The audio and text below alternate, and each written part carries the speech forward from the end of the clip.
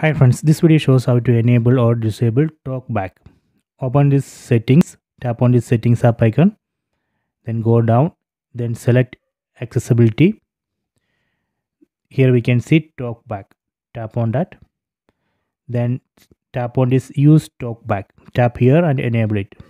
Tap on allow. So now I have enabled talkback. Talk back on. Talk back. See.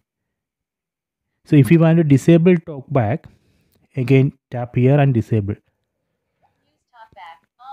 In talkback mode, uh, we need to double tap to select.